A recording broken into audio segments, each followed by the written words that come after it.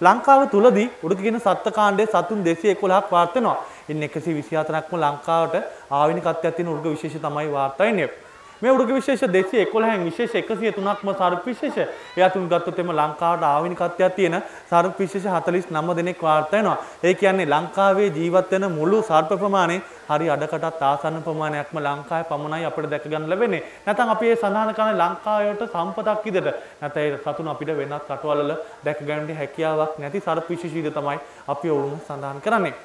ඉතින් මම සඳහන් කළා සර්ප විශේෂ අපි ඔවුන්ගේ විස අනුව එදා එන්කොට දක්වන හඳුනා ගැනීම පහසු සඳහා උග්ඩ විස, මද විස, සුළු විස සහ නිර්විස කියන විස කාණ්ඩ හතරකට බෙදා වෙන්කොට දක්වනවා. උග්ඩ විස කාණ්ඩයේ සර්ප විශේෂ 22කුත්, මද විස කාණ්ඩයේ සර්ප විශේෂ 5කුත්, ඒ වගේ තමයි සුළු විස කාණ්ඩයේ සර්ප විශේෂ 12කුත් නිරිවිස කාණ්ඩයේ සර්ප විශේෂ 64 දෙනෙක් වාර්ත වෙනවා. ඒ කියන්නේ ලංකාවේ අපිට වැඩි වශයෙන්ම වාර්ත වෙන්නේ නැත්නම් ලංකා ජීවත් වෙන මුළු සර්ප ප්‍රමාණයෙන් හරි අඩකටත් වැඩි ප්‍රමාණයක්ම අපිට වාර්ත වෙන්නේ කිසිදු විසක් නැති නැත්නම් නිරිවිස සර්ප විශේෂ තමයි අපිට වැඩි වශයෙන්ම වාර්ත වෙන්නේ. ඉතින් මම සඳහන් කළා උග්ගිස කාණ්ඩයේ සර්ප විශේෂ 22ක් විදිහට. මේ සර්ප විශේෂ 22කින් අපි විශේෂ 17ක් හඳුන්වන දස්තන වාර්තා වෙන්නේ නැති සර්ප විශේෂ විදිහට. ඉන් විශේෂ 15ක්ම අපි හඳුනන මුහුදු නයි නැත්තම් වාලක් අඩි විදියට. අහලා තියෙන පුළුවන් නමුත් දැකලා නැති සර්ප විශේෂ විදියට හඳුනන්න පුළුවන්. ඒට හේතු තමයි මේ මුහුදු නයි නැත්තම් වාලක් අඩි කියන සර්ප විශේෂ 15ම අපිට ගොඩබිමේදී දැක ගන්න ලැබෙන්නේ නැහැ. ලංකාවට අයිති වෙන මුහුදු සීමාවේ ගැඹුරු මුහුදේ තමයි අපිට වාර්තා වෙන්නේ. ඉතින් ඒ නිසා තමයි අපි ඕන් පිස සහිත උනාට අපි දස්තන වාර්තා වෙන්නේ නැති සර්ප විශේෂ විදියට හඳුන්වන්නේ. ඉතින් කලාතුරකින් තමයි අපිට ගොඩබිමේදී දැක ගන්න ලැබෙන්නේ. එහිදිත් සජීවී සර්ප නිදර්ශකයක් නම් අපිට දැක ගන්න ලැබෙන්නේ නැහැ. මියගිය සර්ප නිදර්ශකයක් තමයි අපිට එහිදිත් දැක ගන්න ලැබෙන්නේ. ඉතින් මේ විස 15ක් නැත්නම් මේ සර්ප විස 15ම අපි විසහිත උනාට දස්තන වාර්තා වෙන්නේ නැත්තේ යන්න ඒ නිසායි. ඊට අමතරව තවත් ගොඩබිම් වාසය කරන කුඩා සර්ප විශේෂ දෙකක් අපි හඳුන්වනවා බඩරතු දෙපත් කළුවා සහ දෙපත් කළුවා කියන සර්ප විශේෂ දෙක විසසහිතයි. නමුත් ඔවුන්ට දස්තන සිදු කිරීමට හැකියාවක් නැහැ. ඒට හේතු තමයි ඔවුන්ගේ ශරීරයේ කුඩාකම නිසා. උදාහරණයක් ගත්තොත් එහෙම ඔබ භාවිතා කරන තීන්ත පෑනේ ඇතුලේ තියෙන වටේ තරම් කුඩා සර්පවිශේෂ දෙකක්. ඉතින් ඔවුන්ගේ විසදල සහ මුඛයේ කුඩාකම නිසා ඔවුන්ට සාර්ථක දස්නයක් සිදු කිරීමට හැකියාවක් නැහැ. ඒ නිසා තමයි ඔවුන් විස සහිත වුණාට අපි දස්තන වාර්තා වෙන්නේ නැති සර්පවිශේෂ විදිහට සඳහන් කරන්නේ. ඉතින් ඊට අමතරව අපි ගොඩබිම් වාසය කරන උග්‍රී සර්පවිශේෂ පහක් විතර තමයි ඔබ දැනුවත් කරන්නේ. ඒ අතුරින් ගත්තොත් එම තෙල් කරවලා, නයා, තිත් පොළඟා, සහ වැලි පොළඟා ඒ වගේ තමයි මුදු කරවලා කියන සර්ප විශේෂ පහ තමයි මෙන්න මේ ගොඩබිම් වාසය කරන උග්‍රී සර්ප විශේෂ පහ විදිහට සඳහන් කරන්නේ.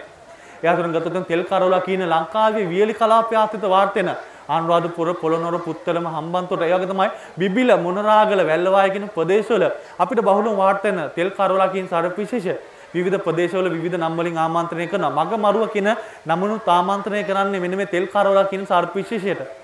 ඒ තරම් විසාධික සර්පිශෂයක් අතීතේ දස්නයක් වූ විගස දස්නයක් වූ පුද්ගලයා බෙහෙතක් කරන්න යන තරම්වත් වෙලාවක් නැහැ. නැතිනම් දස්නයක් වූ පුද්ගලයා මගදීම මැරෙන නිසා තමයි මෙන්න මේ මගමරුවා කියන නම යොදලා තියෙන ඒ තරම් විසාධික සර්පිශෂයක් තමයි තෙල් කරලා කියන සර්පිශෂය. ඉතින් තෙල් කරලා ලංකාවේ වියලි කලාපය ආශ්‍රිත වාර්තායනේ ලංකාවේ තෙත් කලාපය ආශ්‍රිත වාර්තා වෙන ලංකාවට පමණක් අපිට දැක ගන්න ලැබෙන ලංකාවේ ආවිනිකත්වයක් තියෙන සර්ප විශේෂයක් වාර්තා වෙනවා. අපි කියනවා මුදු කරලා කියන සර්ප විශේෂය. ඉතින් ලංකාවේ පමණයි අපිට දැක ගන්න ලැබෙන්නේ.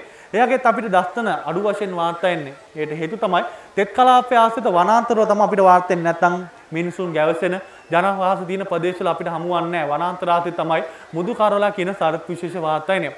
මොන විශේෂ දෙකම තෙල් කරවල සහ මුදු කරවලා කියන සර්ප විශේෂ දෙකම තම වර්ගයා බෝ කරන්නේ විතර මගින් වැඩුණු සතෙක් අපිට වර්ග විතර 6ක් 12ක් අතර ප්‍රමාණයක් දානවා. ඉතින් ඔවුන් තම වර්ගයා බෝ කරන්නේ අන්න ඒ ආකාරයට.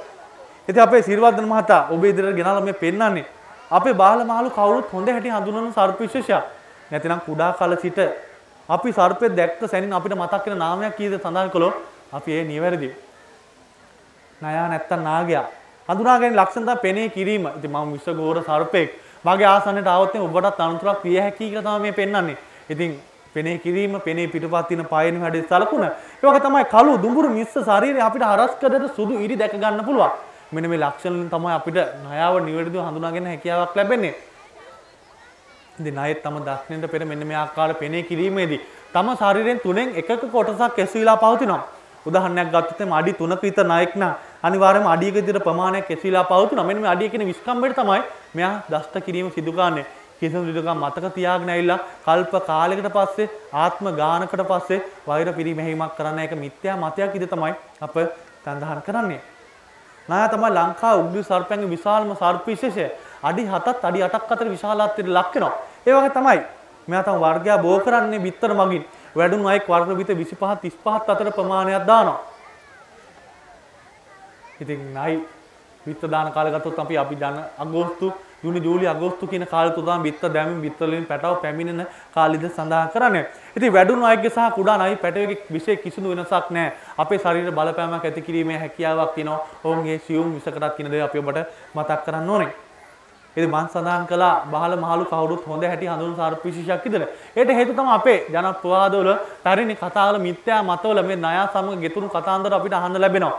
ඒ වගේම තමයි අපේ පැරණි පන්සල්වල පෙනාතක් සහිත නයි රූප දැක ගන්න ලැබෙනවා. වෙස් මුණුවල තොරන් වලත් අපිට ඒ ආකාරයට ඒ රූප දැක ගන්න ලැබෙනවා. කිසිදු අනුතුරක් මෙයාට පේන්නේ නැහැ. මෙයාගේ විලෝපිකයන් මෙයාව ආහට ගන්න බලන් ඉන්න සතෙක් මෙයාගේ පෙනේ පිටුපස එනවා නම් ඒ කිසිදු අනුතුරක් ණයාට පේන්නේ නැහැ. ඉතින් ඒ සතුන්ව මුලා කිරීම සඳහා මෙයාගේ පෙනේ පිටුපස ඇස් දෙකක් සහ කටක් ආකාරයට නැතිනම් මූණ ආකාරයට මෙයාගේ පෙනේ පිටුපස පිහිටලා තියෙනවා.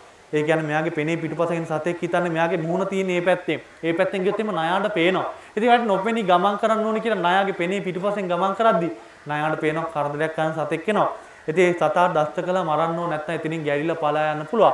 ඒ සඳහා හැඩ ගැහිලා තියෙන ස්වාභාවික අනුවර්තනයක් විදිහට අපිට මෙන්න මේ පයන හැඩති සලකුණ හැඳින්වීමේ හැකියාවක් තියෙනවා. ඉතින් නායක අපේ ගෙදරට ආවොත් එහෙනම් අපි ආච්චිලා කියලා කියන කතාවක් තමයි නැත්නම් ජනවහර ගෙවිලා ඇවිල්ලා තියෙන කතාවක් තමයි අනේ නයිහාමි අපේ ගෙදරට එන්න එපා.